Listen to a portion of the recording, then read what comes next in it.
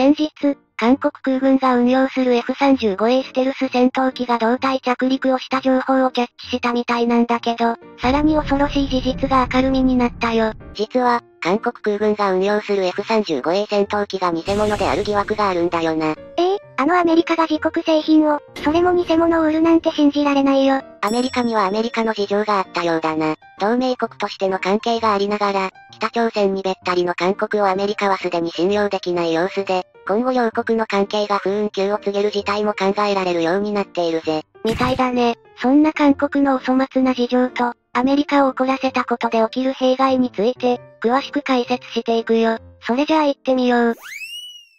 現在、アメリカとの契約に基づき、F35A ステルス戦闘機が逐次韓国に導入されているところだけど、隣の国のこととはいえ、機密情報については気になるところだよね。そもそも、アメリカが開発した技術の中にはブラックボックスと呼ばれる軍事機密部分もあり、日本においても運用している戦闘機の一部には当然ブラックボックスがあるんだ。ブラックボックスがある場合、その機体の修理や回収はアメリカの手によって行われるため、例えばグアムに改装するなどの手間がかかるのも事実だよ。それを差し引いても最新鋭の技術や兵器を搭載している戦闘機を持つことが、日本の国防に大いに寄与するから購入して運用しているってわけ。じゃあ、韓国はどうなっているの？韓国は、日本の場合とは少し事情が違うようだね。そもそも、売り手側のアメリカが買い手側の韓国を24時間監視しているというのだから、尋常ではないよ。これは、アメリカ曰く韓国を信用できないことの表れだね。アメリカは韓国を明らかに信用していないんだ。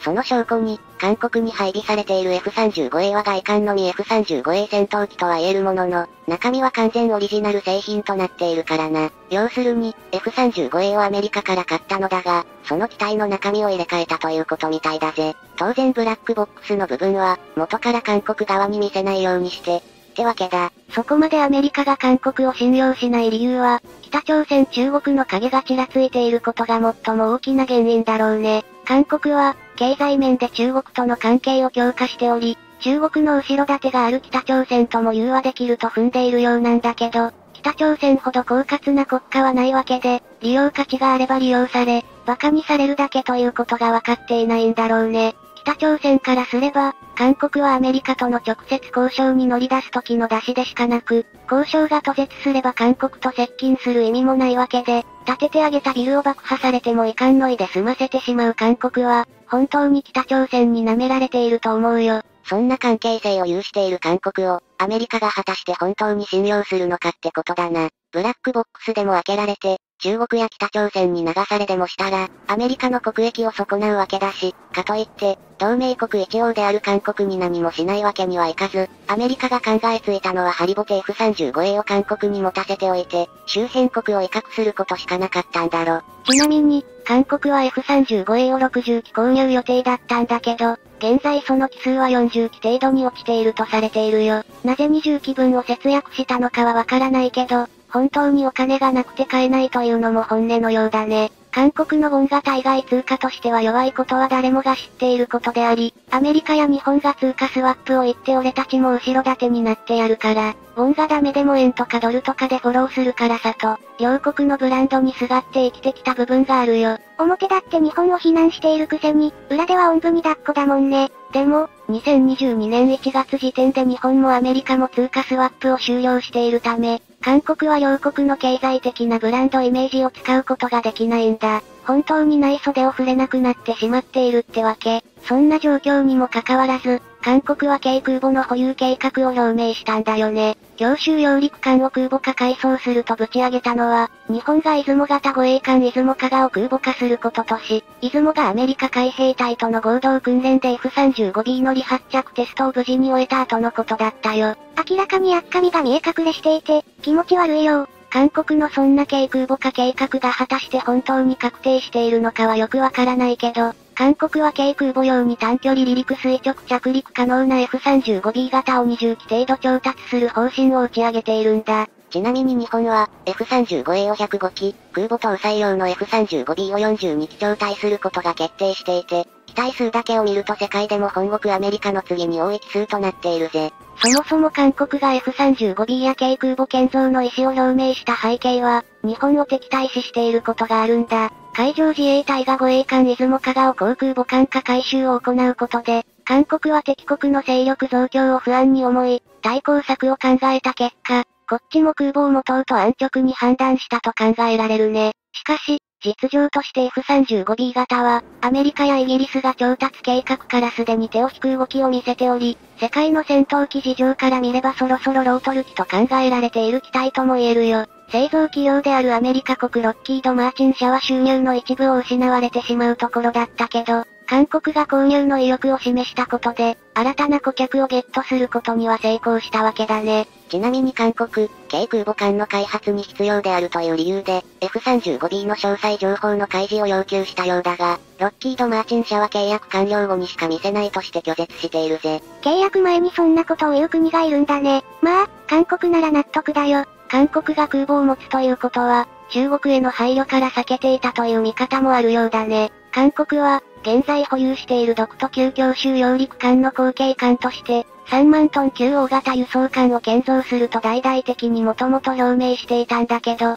これは軍事大国の中国を気にかけうちは空母を持ちませんよと配慮したという裏話があったんだ。そんな状況下で海上自衛隊が護衛艦出雲と加賀の航空母艦化を公表したことで、韓国にとっては中国にはばかることなく日本が持つからうちも持つと、格好の理由ができたといったところじゃないかな。日本への対抗策として考えたものなら、中国の機嫌を損ねることなく、堂々と空母を保有できるし、中国から空母の技術を提供してもらうことも視野に入れることができるからね。韓国からしたら、そんな感じで頭の中が幸せな構造になっているのかもね。そもそも、空母を持つをは持たないというのは、規制によって大きく影響を受けるんだよね。日本は4州を海に囲まれた島国であり、その規制上から見ても、海上防衛、海上から迫り来る敵への対抗は必要不可欠となっているよ。今もすでに、中国海軍の脅威を受け続けている尖閣諸島南西諸島の防衛戦略には、陸上拠点だけでは困難であり、出雲や加賀によって運用される F35B が絶対的に必要になってくるってわけ。F35B はステルス性能向上を重視している構造ゆえに燃料搭載量が限られており、他の従来戦闘機よりも航続距離や行動半径が短く、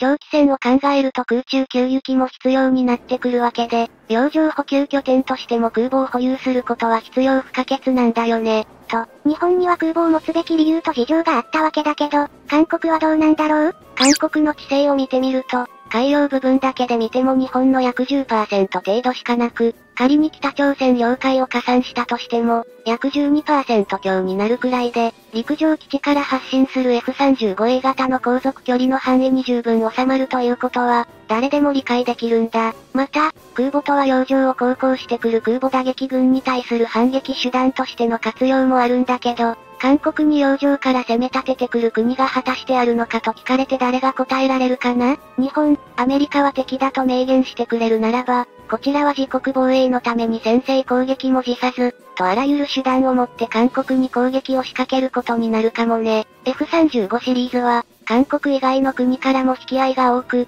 実は、イタリアも F35A と F35B の2種の調達を進めていたんだけど、ここに来てイタリアが中国にべったりとの状況があり、アメリカが難色を示しているとの話が聞こえてきたよ。経済的にイタリアと中国は関係が深く、多くの中国労働者がイタリアに入ったことで、イタリア国内でも爆発的にコロナウイルス感染者が増えたんだけど、この時に中国人目とイタリア世論が湧かなかったのは、イタリアが中国資本によって経済活動を支えられていることを理解していたからと言えるんだ。イタリアには、F35 シリーズの修理や改修などを行うことができる公式工場 FACO があるんだけど、これですら中国との関係が徐々に高まるようであれば、イタリア経由でその秘密が暴かれてしまうのではないかとアメリカが考えても無理はないよね。韓国にせよ、イタリアにせよ、繋がるところは中国というところに、アメリカがシビアになるのは無理もないだろうな。日本のように安心できる同盟国を確保しておきたいところだが、韓国なんかはもう何を言う気も失せるだろうぜ。ちなみに韓国、F35A の回収については日本の小牧基地にある FACO での対応を拒否しているね。反日感情が先立つ傾向があるため、自分の戦闘機を日本に持ち込むことは完全に拒否しているからなんだ。でも、それはあくまで韓国側が説明した理由であって、日本の事情はちょっと違うよ。日本の FACO は三菱重工業メインで運営されているため、韓国の依頼する仕事なんか受けたくないってところが本音なんだろうな。何しろ、戦争中の徴用工問題で韓国司法に財産を没収されて売却されるかもしれないわけで、そんな国の仕事なんか受けてやるもんか、と公言したって誰も怒らないと思うよ。そもそも韓国は、日本の約半分の人口しかいない国なんだよね。でも、軍事予算に注ぎ込む費用は日本と同額と言われており、このお金を捻出するよりもっと有効な使い方はできないのかと国民からたびたび批判されているのも事実ってわけ。そんな批判の声を反日だけで押し切ってきた韓国政府に、果たして先見性のある政治や国防が語れるのか、本当に疑問だよ。それじゃあ今回はこの辺で、よかったら、チャンネル登録してね。